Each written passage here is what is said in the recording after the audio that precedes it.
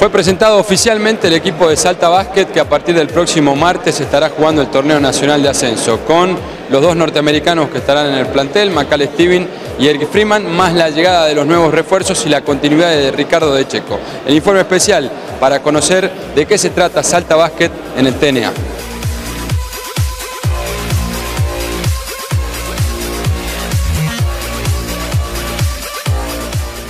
¿Qué significa para vos jugar con, con, otro norteamericano en el plantel?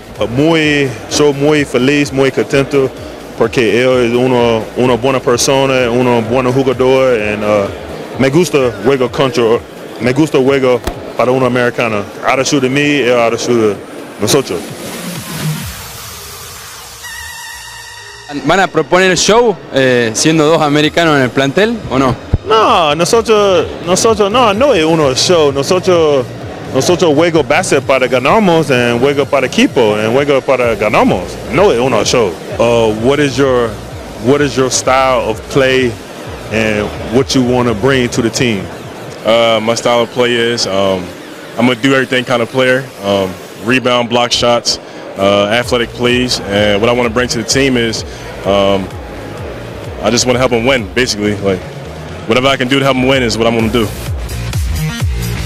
Su juego es un jugador muy, muy atlético, buen tiro, triple, dos, mucho rebound, salto mucho.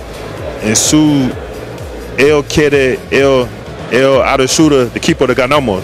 Muy importante el equipo ganamos, pero su juego es atlético, salto mucho, mucho bacano, en buen estilo, mucho estilo.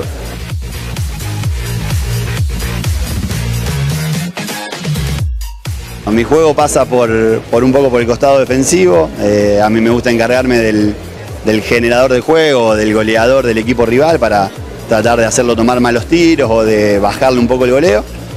Y nada, a partir de ahí crecer en los distintos aspectos que, el juego tiene, pero inicialmente mi función, lo que a mí me gusta es, la parte defensiva.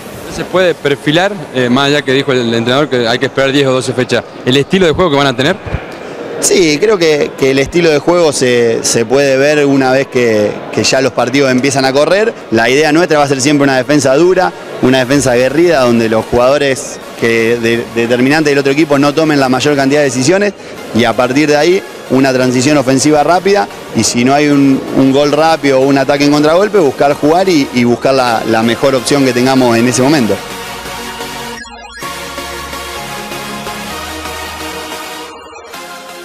Eh, comencé profesionalmente en regatas de San Nicolás a los 16, 17 años. Eh, después tuve un paso por la Liga Nacional de 4 años. Eh, jugué en la Universidad de Estados Unidos en la NCAA 5 años. Luego fui a jugar a Europa, un año en Luxemburgo, otro año en Portugal. Y después de eso ya volví para Argentina. Tuve 6 años en el TNA, creo, hasta la séptima. Y también juego en Perú.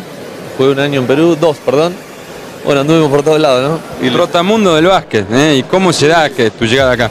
Sí, la verdad que sí. Bueno, pues, por parte de mi representante eh, se comunicó con Ricardo y bueno, las intenciones de ellos era que yo venga a jugar acá.